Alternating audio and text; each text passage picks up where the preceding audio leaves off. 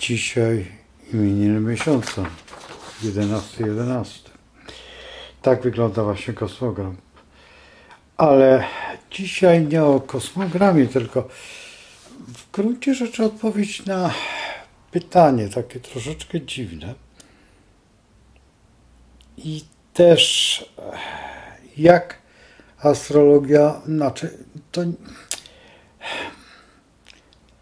jak ja podchodzę do działania.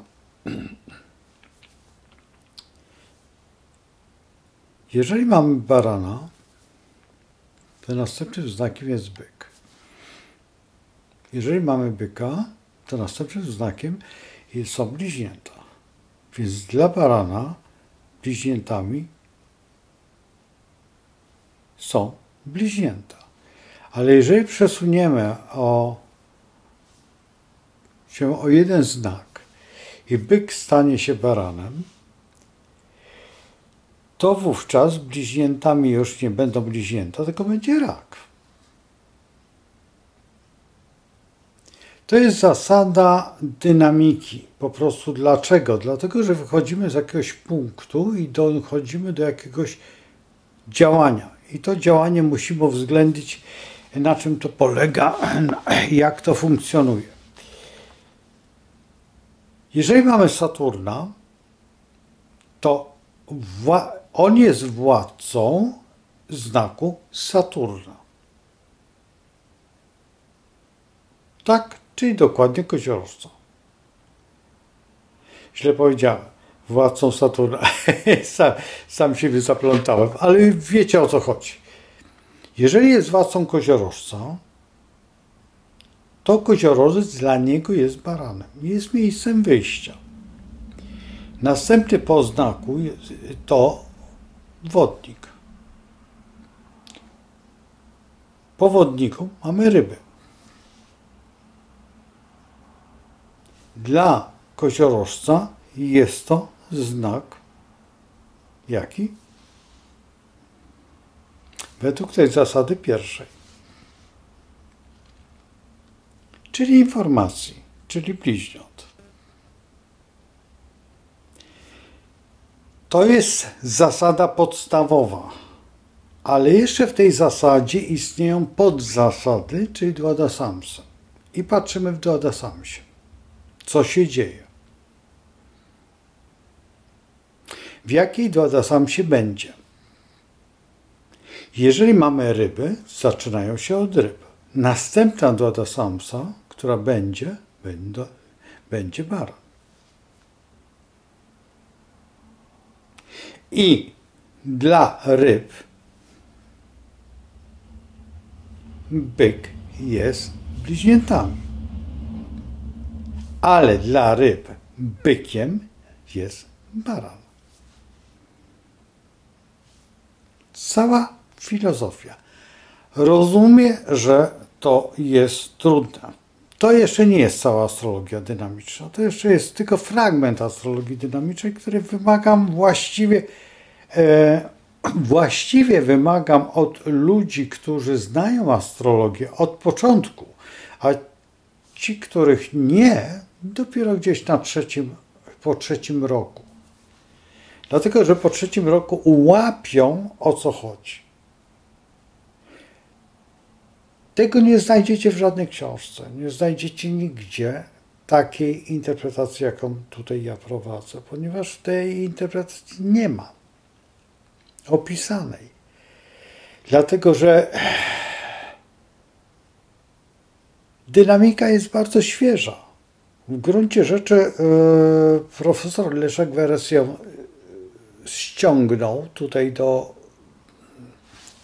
Polski Zaledwie nie wiem, czy dynamikę w rzeczywistości zna może sześciu albo siedmiu uczniów y, profesora Leszka Beresa. Na pewno Janusz zna.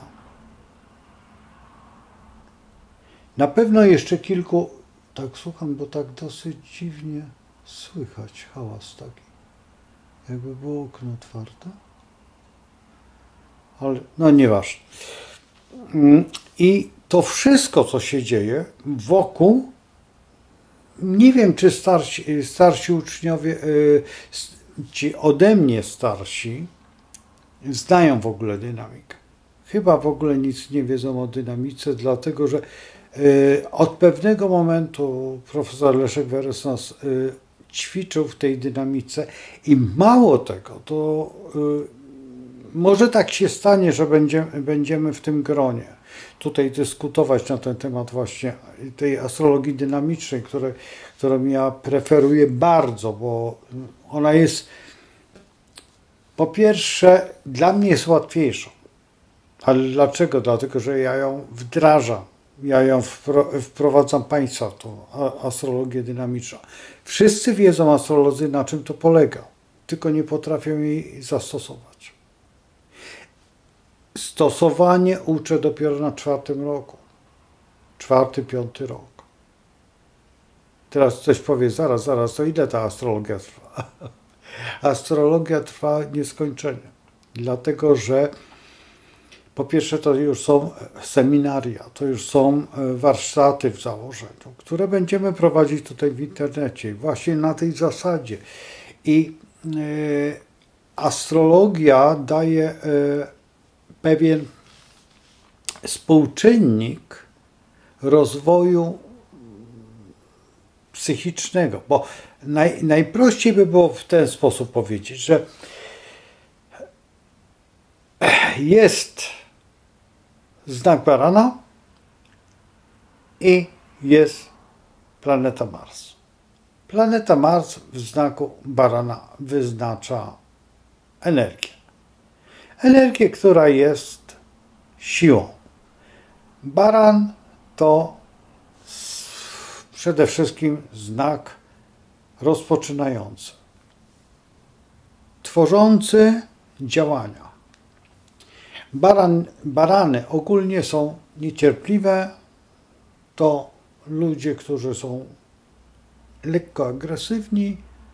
Barana bardzo łatwo wprowadzić e, w stan nieważkości, nazwijmy to tak. Baran to reprezentuje wojsko, reprezentuje e, pola marsowe, reprezentuje działania, no, Rzym, cała kultura rzymska to barany, baran i baran to poprzednia epoka przed rybami, czyli dokładnie właściwie Grec, od Grecji aż do Rzymu. No i tak możemy o Marsie, planeta czerwona, działająca y, przede wszystkim reprezentująca wojnę. Mars jest bogiem ataku, działania szybkiego. No i, i co z tego wynika? Takie bzdury uczy się na samym początku, ale w rzeczywistości tak nie jest. Bo baran faktycznie jest taki, ale baran, pierwszy baran jest aktywny, ale drugi baran już nie jest aktywny. Ta druga do samsa. Trzecia już należy do informacji i on zupełnie inaczej podchodzi do tego. Teraz my mówimy o samym znaku, ale możemy również zrobić Marsa.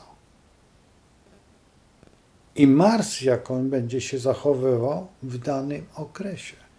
Jeżeli my nie przejrzymy historii tego Marsa, bo pamiętajmy o tym, że bardzo łatwo jest mówić o baranie, o Marsie w baranie, bo tak jest prawidłowo, ale Mars może wystąpić na przykład w rybach.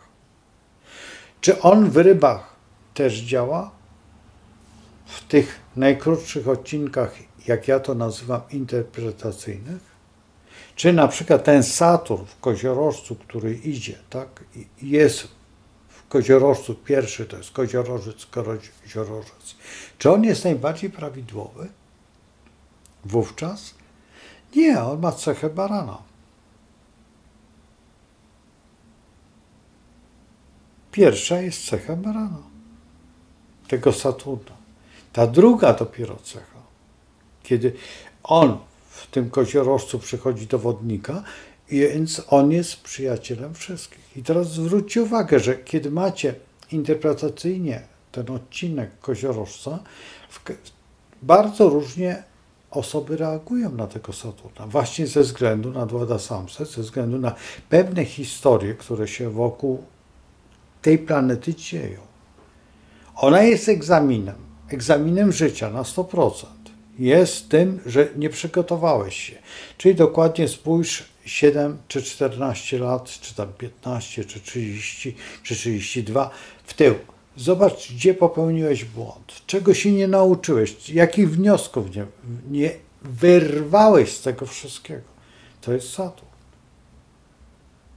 I teraz, jeżeli idziemy tym Saturnem, bawimy się nim, to w tym wypadku po drugiej stronie mamy Księżyc, który Księżyc robi to samo, tylko progresywne. Progresywne, progresje należą do naszej psychiki.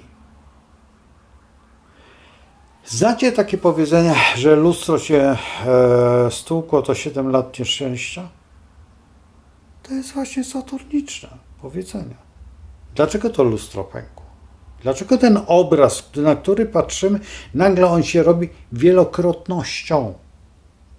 Dlatego też nie za dobrze mieć lustra te takie połamane, czy tam coś. To nie są szczęśliwe rzeczy. Na przykład ta Aleja Róż, która jest zrobiona tutaj w mieście Łodzi, to jest przepiękne, to jest waga i oczywiście to, no róże, tak, reprezentuje waga, ale w gruncie rzeczy, czy chcielibyście tam mieszkać?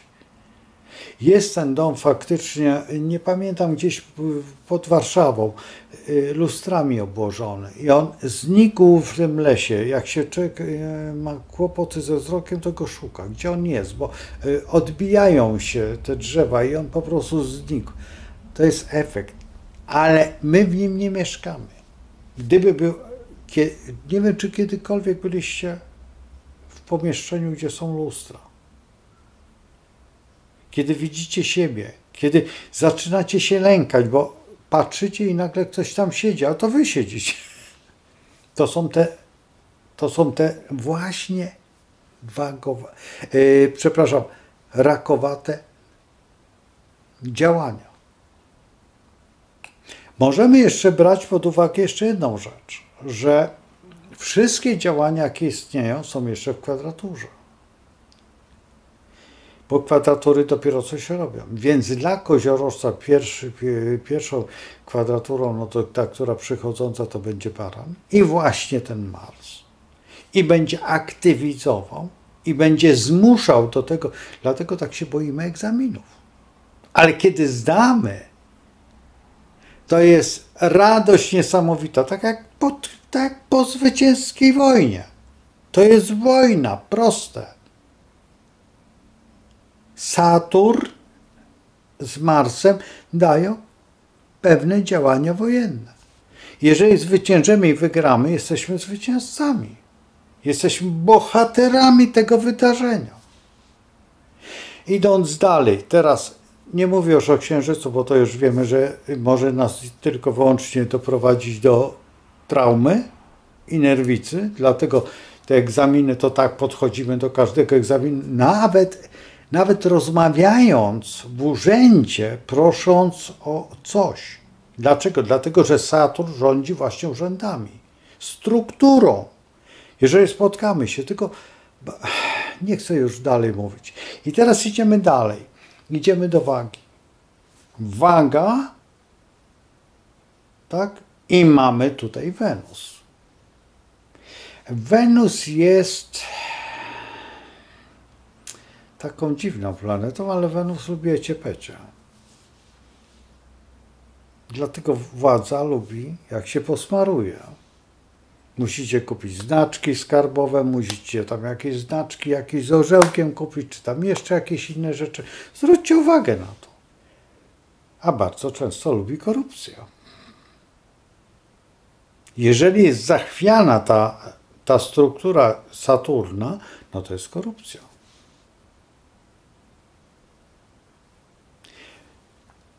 Jeżeli mamy strukturę taką, jaką wymyślił kto? Kant.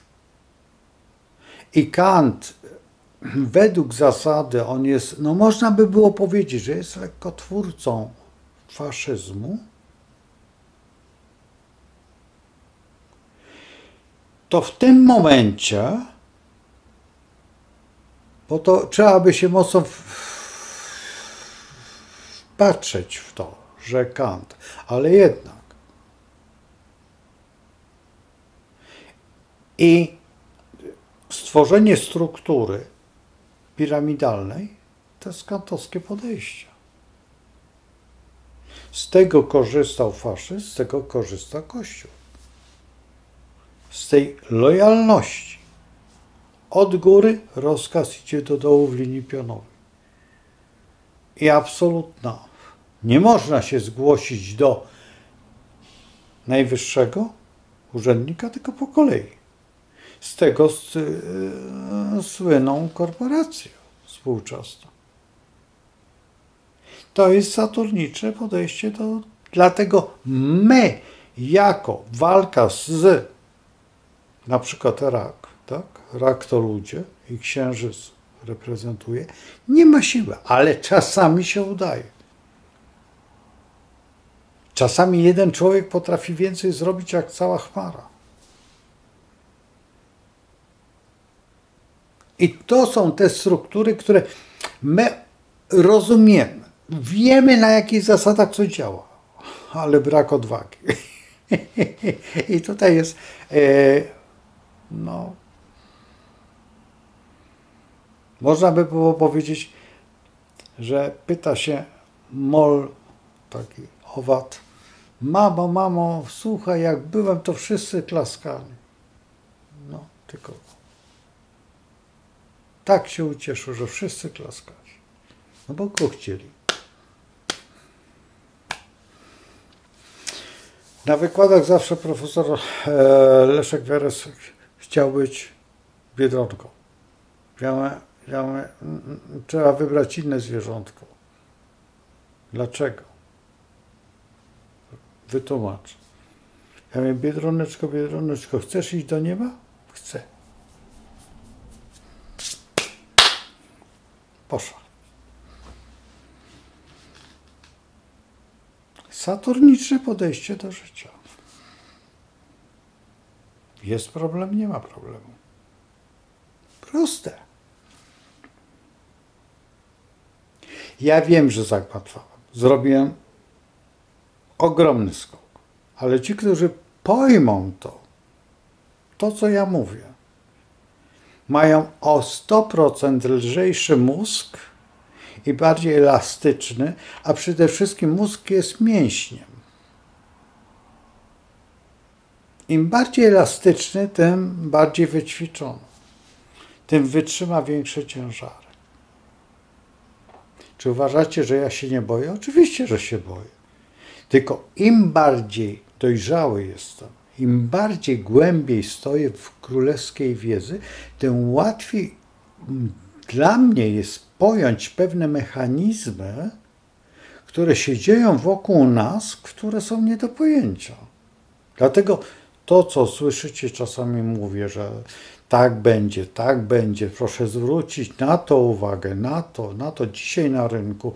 Wie pan, pan powiedział o tym Izraelu i ma pan rację na rynku, bo żeśmy rozmawiali, czasami rozmawiamy, co tam słychać, na co zwrócić uwagę. Ja nie jestem tam widziany jako astrolog, znaczy wiedzą, że astrolog, no bo przecież, przecież my się znamy już tam przynajmniej ze 30 lat na tym rynku, ale fakt faktem, że te osoby widziały mnie w TOI, czy znają mnie z telewizji, czy znają mnie z wykładów, czy jeszcze tam skończy jedne pani Goździkowa, tak. I są te pytania. I te proste pytania, tak, zwróćcie uwagę na to, zwróćcie uwagę na to, niech pani się, albo co, było takie pytanie, no co z tą Polską? Nic z tą Polską, no co? No co się wydarzyło? W telewizji mnie zapytano się. No i teraz gdyby przeszło, wie pan, jak pan prorokuje? Nic nie prorokuje, bo nie ma sensu. Co prorokować? Nic się nie stanie. czy coś się stało. Jeżeli coś się stało, to wyłącznie się stanie na nasze żądanie. Czy ktoś napadnie na nas? Hmm, już napadł. Już tu nic, nic nie ma co zbierać. Korporacje rozebrały kompletnie wszystko. Już, już są rozegrane. Dzisiaj oglądałem jakiś taki wykład pani, która opowiadała o mleku, że to mleko nie kwaśnieje, że w tym mleku nie ma wapnia. Potem mówiła o kukurydzy, że ta kukurydza jest tylko ta dziwna ta kukurydza. Potem mówiła, no tak, ale my już od wielu lat nie mamy w ogóle pszenicy. Pamiętacie prze, y, prze, y? Pamiętacie barsz y, Sosnowskiego, chyba tak to się nazywało. Pamiętacie? To, to, od czasu do czasu w tej chwili to straż pożarna przyjeżdża i ogradza tam i nie wiem, wypala, nie wypala, nie wiem co z tym robi, ale to jest bardzo niebezpieczne. No ale przecież to, to, to są te eksperymenty żywnościowe, które robiono za czasów Miczurina, tak? U nas w Polsce profesor Pieniążek przecież wprowadził, yy, powiedział wyraźnie, że on nie spocznie, dopóki jabłko nie będzie w cenie ziemniaków. No i jest w cenie ziemniaków jabłko. Jabłko w tej chwili można kupić za złote 50, złote 20, za 2 złote. Ja nie mówię o tych pięknych, wielkich jabłkach, takie najtańsze jabłko w takiej cenie. A jeżeli się pojedzie na wieś, to po złoty coś ziemniaki są czasami droższe. Więc doszło do tego. Faktycznie doszło. I to się udało. I tutaj, tutaj właśnie e, ten Saturn, to wszystko działa na tej zasadzie, obojętnie jaką bierzemy planetę, jak bierzemy znak, on cały czas ewoluuje. I nie ewoluuje na zasadzie takiej, że się zmienia, tylko pamiętajmy o tym, że najłatwiej jest nam jeżeli mamy te dwa dasamse, tak, spojrzeć w tył, jeżeli szukamy w tej dwa dasamsie, to raz, dwa, trzy, cztery, pięć, sześć, siedem, siedem dwa dasamse. Zobaczyć, co było te siedem dwa dasamse. Różnie to bywa. Czasami jest to 7 lat, czasami 17. To zależy z jakiego punktu wyjdziemy. Czy wyjdziemy od punktu Plutona, czy wyjdziemy z punktu Urana, czy wyjdziemy jeszcze z jakiejś innej. Czy wyjdziemy tylko, czy sprawdzimy we wszystkich samsach, na przykład wyłącznie tylko wodnika. Planety, jak ona się zachowywała w czasie, przestrzeni. Dopiero wtedy jest to astrologia. A tak, to, to jest tylko bredzenie kompot jakiś. Jak ja słucham, że astrolog tam coś opowiada, to mnie po prostu wierzyć się nie chce. Żyję w tym świecie, funkcjonuję w tym świecie i ktoś mi opowiada jakieś farmazony.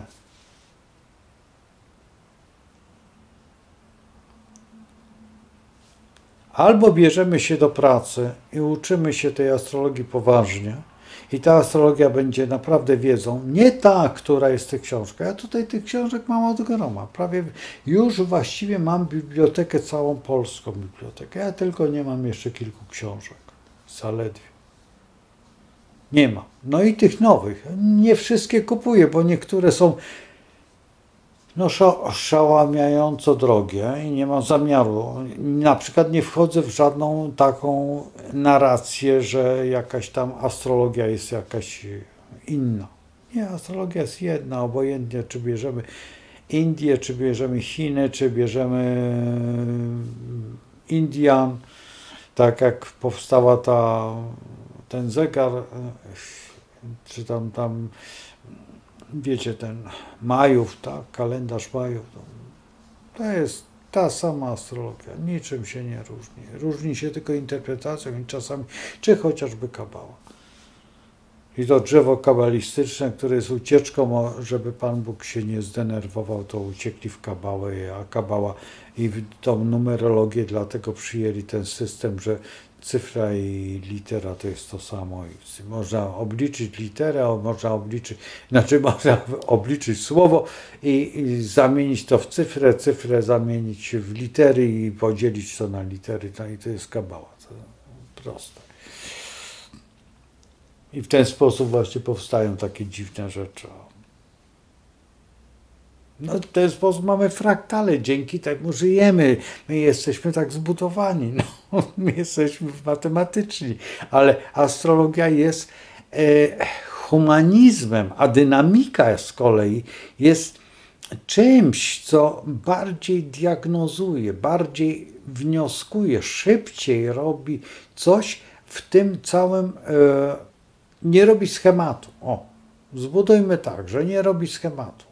Na przykład bardzo często mm, moi uczniowie mówią, bo Ryszard tak chce. No bo dzisiaj inaczej interpretujemy jak jutro, dlatego że dzisiaj mamy dładę, na przykład tam barana, a jutro za dwa i pół dnia będzie byka, tak? a za te pięć dni już się zmieni w bliźnięta. No i musimy wiedzieć o tym to wszystko idzie do przodu. Oprócz tego, jeżeli patrzymy na inne planety, tak zwane społeczne, czy te ciężkie planety, tak Neptun, tak Pluton, i patrzymy na nie, to te planety bardzo wolno się poruszają. I czy łatwo złapać na samcach? Nie, właśnie ciężko jest złapać na samcach. Łatwiej jest złapać na znakach, czy na opozycjach, czy na kwadraturach.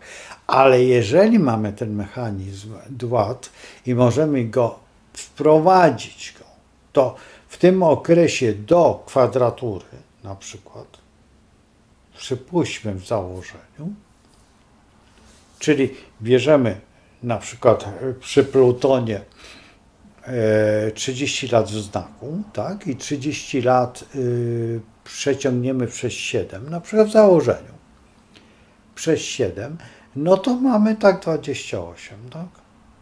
Czyli on występuje tutaj ileś razy. Ale jeżeli weźmiemy dładę, na przykład, pewno, to ona jest co jakiś okres. I ona mniej więcej co 28 lat tak się zmienia, dłada. Tak?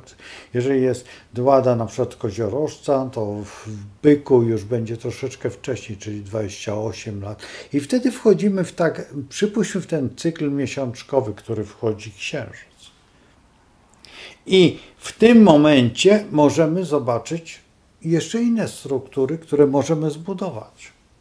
Teraz zwróćmy uwagę, że na przykład chociażby te 7, tak? A ile ma uran lat? To już mówię do zawodowców. A ile ma Mars lat? Ile ma Wenus miesięcy? Czy możemy to prze, przełożyć na przykład na właśnie te saturniczne, czy jowiszowe układy? Jowisz ma 12. 12 i 12? I 12 i 12? Hmm? Wreszcie znajdziemy tą spójną cyfrę, która nam się dzieli lepiej, czy iść można lepiej tymi, tymi działaniami, czy tymi, w zależności, co chcemy uzyskać. I tutaj mamy najprostszą metodę interpretacyjną, najprostszą metodę zrozumienia tego wszystkiego, co wokół nas się toczy. I to jest najprostsza, najprostsze e, zrozumienie całego tego cyklu planetarnego. Pamiętajmy, że naprzeciwko barana jest waga. Naprzeciwko byka jest skorpion. Naprzeciwko wodnika mamy lwa. Ale naprzeciwko lwa jest wodnik. Jeżeli tego nie będziemy pamiętać, nie będziemy tym operować i na przykład jeżeli mamy tą planetę od swojego znaku możemy też interpretować na zasadzie barana, że ona wyszła z tego znaku, to jest baran. Można też interpretować, że ona ze swojego znaku weszła do następnego znaku, tak? I zmienia swoją pozycję. Ale jeżeli ona wchodzi w dłady, można już się zabawić w inny sposób. Czy warto? No jak nie warto? Jeżeli nie mylę się w swoich. Oczywiście, że bardzo często osoby, które liczą na to, że ja zrobię cud, to nie, to nie ma cudów. W astrologii nie ma cudów. W astrologii jest rzeczywistość, ale my nie chcemy tej rzeczywistości. My nie tolerujemy rzeczywistości. A po co mi to? Panie, o czym Pan mówisz? A co mnie obchodzi jakaś tam działania? Pan, pan nie. Osoby wrażliwe to pojmują, ale takie. No i to jest cała, cała, cały huk astrologii. Że astrologia pokazuje życie. Życie, czy obojętny, który stan weźmiemy, czy w XIX wieku, czy w teraźniejszym, czy 3000 lat temu, ta astrologia była identyczna. Identycznie się ludzie bali. Lęk ciągle jest. Ciągle ten sam konflikt jest, dlatego astrologia jest tak szalenie łatwa do interpretacji tej klasycznej, ale w tej interpretacji nowoczesnej, tej, tej którą no nie można mówić nowoczesną, bo jeżeli było tych trzech króli, no to, to, to, to, to jest arcyastrologia. Przyjść i odnaleźć, pokłonić się. A już najbardziej ci od Heroda, no to przecież to jest już nie do wiary. Najpierw doradzają człowiekowi, który jest szalenie mądry, wycinają, wycinają prawie całe, całe, całą społeczność męską, tak? w jakimś wieku on wycina, na ich, po prostu za ich doradztwem. Potem oni odnajdują tego, tego, tego, tego, to dziecko i stwierdzają, że to jest autentycznie Bóg. To jest dziecko, cudowne dziecko, to jest Mesjasz. Boże, co żeśmy zrobili? I uciekają. Już nie wracają do Heroda. I ten problem, ten problem tej ucieczki, tego, tej, tej, tej historii, on jest ciągle aktualny. Najbardziej wśród astrologów. No przecież to jest, to jest horror. Przecież przyglądając się tym wyborom, tym wszystkim, to jest dokładnie ustawianie astrologiczne. To nie ma mowy, żeby tam ktoś nie był. Tylko te wcześniejsze rozkazy, te wcześniejsze rzeczy, no to są przecież chore. Nie wiem, czy rozumiemy się. Spójrzcie, zobaczcie, spójrzcie na te 3-5 lat ostatnich, ten okres tego władania. To jest chory okres. Przecież jak ja mówię o sanacji, to nie po to, żeby nie, tylko żeby spojrzeć w tamte czasy. A komu się chce? Zaledwie może trzech ludzi w Polsce wie, co to było? Trzy osoby, które mówią otwarcie o tym okresie? Nie mówię ja, ja nie jestem otwarty.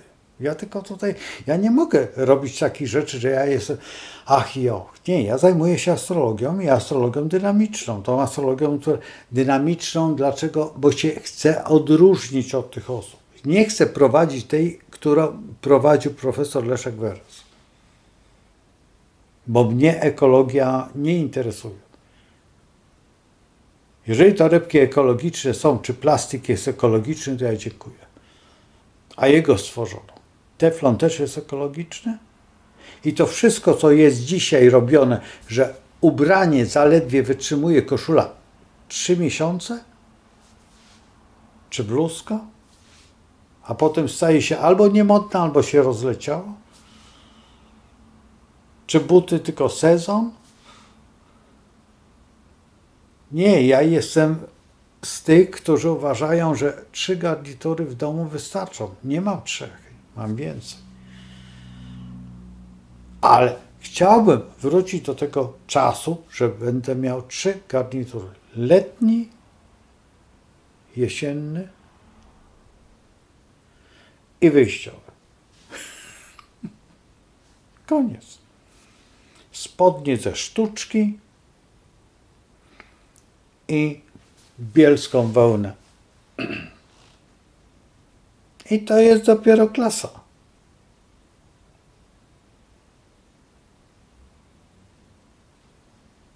A nie 150 materiałów, które rozłażą się. Chodząc, one już nie istnieją. Dzisiaj zakładam podkoszulkę i ta podkoszulka po 20 praniach wygląda jakby przeżyła przynajmniej 40 lat.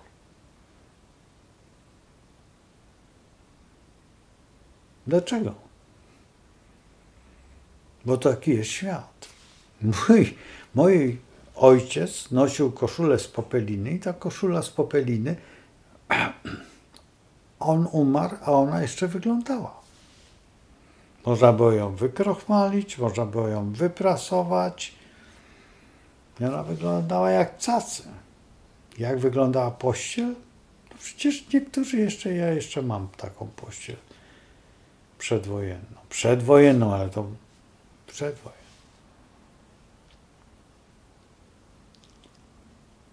Przecież jak się zrobi garnitur z lnu, to ten garnitur z lnu jest niezniszczalny, tak z konopi garnitur. Dżinsy, pierwsze dżinsy były z konopi, pierwsze mundury były z konopi. Były niezniszczalne. Niezniszczalne. No, jeżeli przypuśćmy żołnierz nosił je przez 20 lat, no to chyba niezniszczalne. Jeżeli te dżinsy przeleżały w jakimś bagnie, te, te które były chyba Lewi Straussa, jeżeli się nie mylę, przeleżały w bagnie tyle lat i dzisiaj są w muzeum te skonopi i nikt nie wie, no to o co chodzi. Ale jeżeli była wełna Shetland, którą ściągano z Polski, wełna, było takie, e, jak to było? E, zaraz sobie przypomnę garki nituje, tam coś tam, to szmot, szmot, szmot. I ten szmot skupował e, wełnę. Ta wełna szła na. Wróćmy do Shetland. Ten e, zgręplowany materiał e, szedł, ta wełna oczywiście, szła do no do Anglii.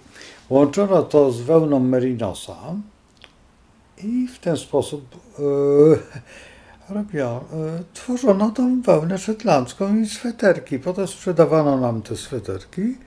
Znaczy na całym świecie takie różnokolorowe one były. E, czasami nitka miała i czerwone, i niebieskie. I właśnie to były te szmatki, które nasze z Polski. Dlaczego lub, e, uwielbiano Polskę?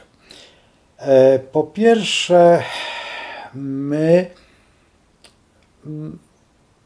lubimy, lubiliśmy, znaczy gro naszej odzieży była wełna. Nie było mieszanek typu wełnolen, czy na przykład wełna y, z czymś, z jedwabiem. Nie było takich mieszanek.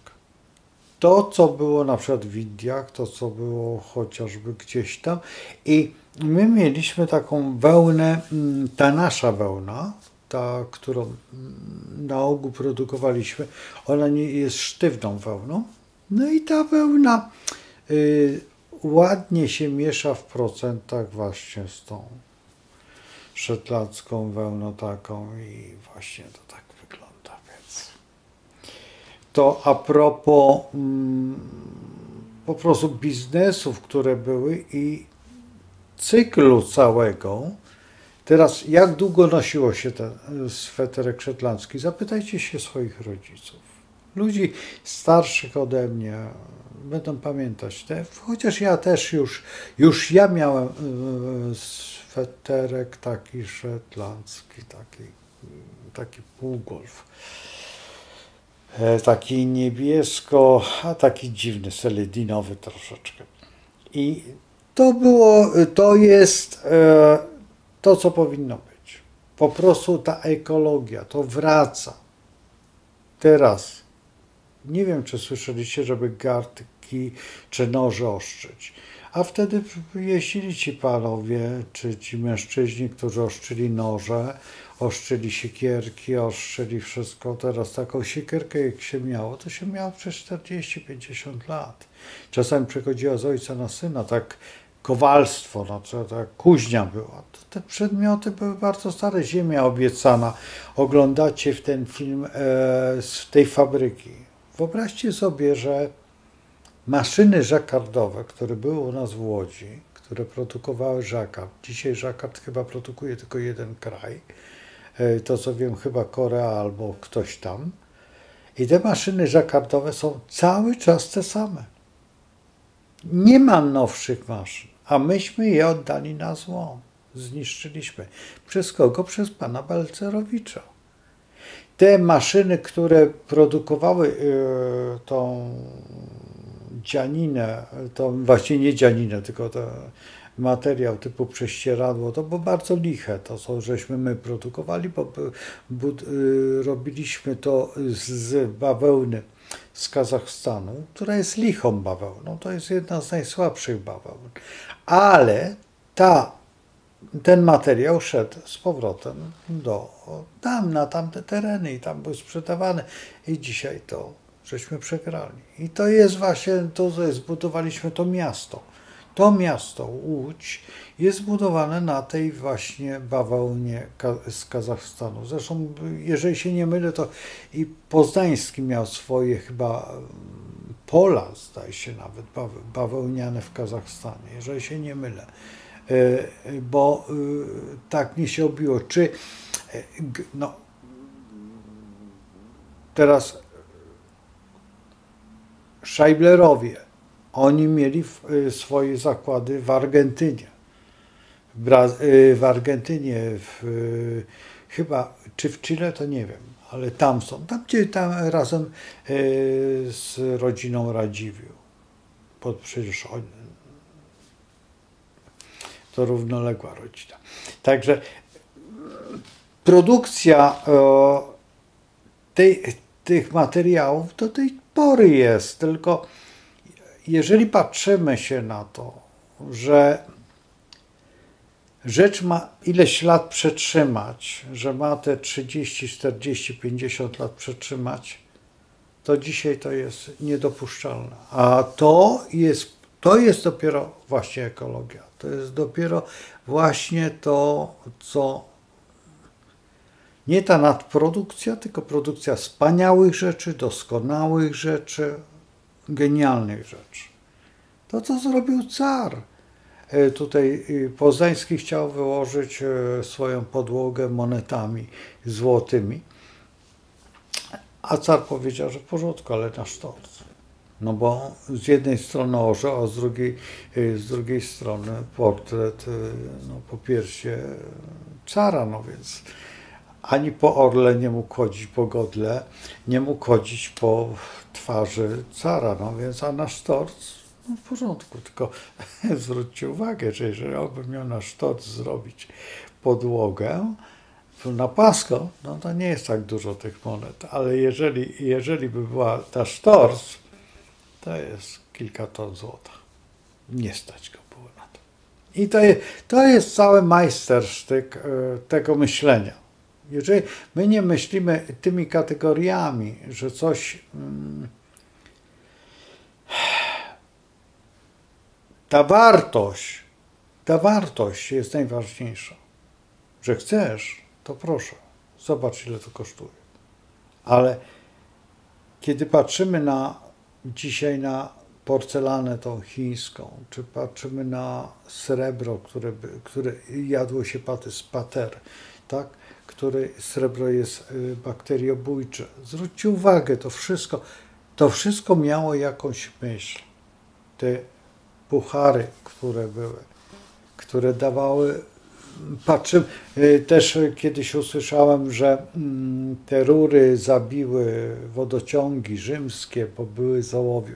Tylko, że ołów, który się utlenia, utleni, e, absolutnie już nie był szkodliwy. Mało tego, w Rzymie dopiero, nie pamiętam po ilu latach, dopiero oddawano do eksploatacji, więc wiedziano o tym, że ta woda jest szkodliwa i tą wodę używano do czegoś innego. Do czego? Nie wiem. Może do kąpania, czy do, na czym do mycia?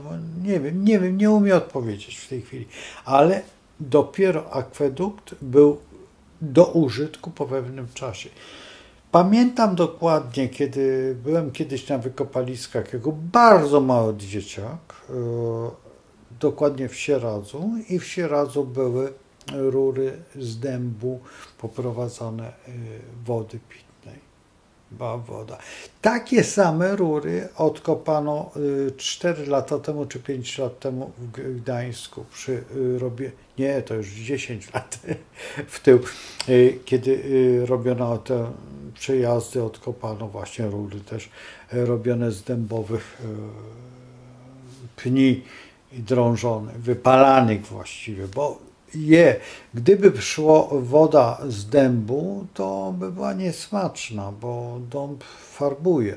Ale kiedy go opalimy, to on już jest w takiej obojętnej strukturze.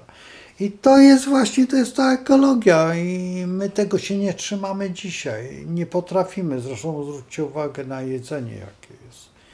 To wszystko, co się dzieje, to co już mówiłem, y, jest jedną wielką tragedią. I to jest tragedia nie niczyja, tylko nasza, nasza wewnętrzna tragedia, która jest przerażająca, bo ona nie prowadzi do niczego. Ona nie prowadzi, nie prowadzi nas do zwycięstwa. Ona prowadzi nas do zwykłej tragedii, do przerażającej tragedii, jaką jest po prostu nasze życie. Nasze życie jest w pewnym sensie e, nie komedią, a tragedią.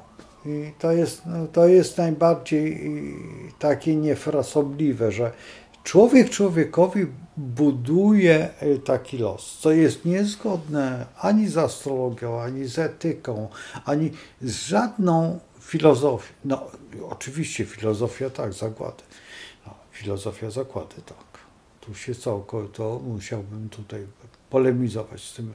Tylko jeżeli filozofia zagłady, no to, no ale w tej chwili to jest to. No, jest i to wyraźnie jest. Jeżeli ktoś sięga do jakichś czasów, mm, no to zwróćmy uwagę, że ci katastrofiści, tak jak pan ten, który mieszka w Szwajcarii, on powinien już zamknąć swoją historię i odejść do lamusa, tak jak odeszli inni filozofowie, których nawet, nawet nie chce mi się wspominać, bo nie ma sensu. A trzeba brać pod uwagę, że ta najwspanialsza e, rzecz, jaką jest właśnie to, co, o co dzisiaj walczymy, o demokrację, to przypomnijmy sobie, co się stało z największym demokratą, z tym pierwszym, który musiał szklaneczkę trucizny połknąć, bo tak zdecydował. I dzisiaj na, ciągle ta szklaneczka jest aktualna. Do zobaczenia następnych odcinkach, a Was zostawiam po prostu ze słowem miłość i z Bogiem. Do zobaczenia.